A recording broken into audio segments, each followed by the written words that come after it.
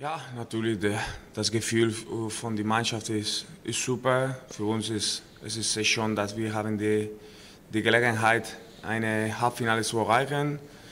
Und für morgen, wir haben die Motivation, die Hunger, die Wunsch, gut zu spielen und eine gute Ergebnis zu, zu haben. Es ist geöffnet nach den Unentschieden in, in äh, Leverkusen äh, letzte Woche. Ja, wir denken nicht zu weg.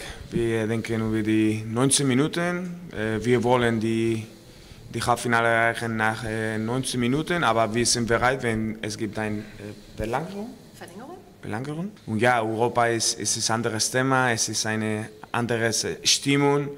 Morgen werden wir haben eine gute Stimmung auch äh, unsere Fans, sie, sie reisen nach äh, Brüssel.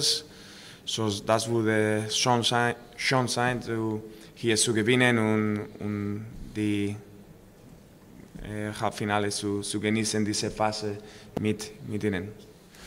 Ja, es ist keine Champions League, aber ich glaube schon, ähm, ja, dass es schon was Besonderes sein kann. Ich denke, äh, ein Halbfinale ähm, ist immer was Besonderes, vor allem jetzt in der Europa League ähm, wäre es schon, ja, äh, eine Riesensache für mich persönlich, aber auch für den Verein, weil ähm, ich habe irgendwo jetzt gehört, 2002 das letzte Mal international. Ähm, es wird mal wieder Zeit.